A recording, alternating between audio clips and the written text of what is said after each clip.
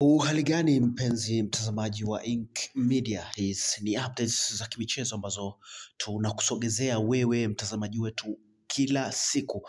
Habari ambayo imetufikia hivi punde ni kwamba e, uongozi wa klabu ya wekundu wa Msimbazi Simba umemweka kikaangoni meneja wa, mas, wa mawasiliano wa klabu hiyo e, Ahmed Ally wakimtaka kujitathmini baada ya viongozi wa timu hiyo eh, kwa kile wanachodai maneno yake yanawahamasisha wapinzani na, ku, na kuongeza eh, ugumu wa mechi. Wamemwambia Ahmed Ally ajitathmini kwa sababu wapinzani wanalazimika kujituma ili waweze kumprove wrong, kwa maana ya kwamba Ahmed Ally amekuwa akiongea maneno ambayo yanawahamasisha wapinzani kuweza kucheza vizuri zaidi ili kumwonyesha Ahmed Ally kwamba maneno yake anayoyazungumza ni maneno ambayo si mazuri kwa timu pinzani. Kwa hivyo viongozi wamemweka kikaangoni Ahmed Ally wakimtaka aweze kujitathmini juu ya maneno yake ambayo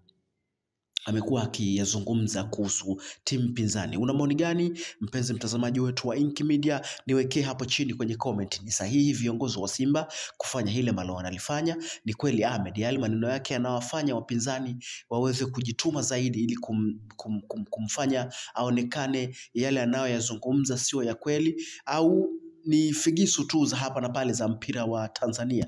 Mimi ni Elsafadhi na hii ni Ink Media. Usisahau kusubscribe, like, lakini pia usisahau kuacha comment yako hapo ili tuweze kuendelea kufanya vizuri zaidi.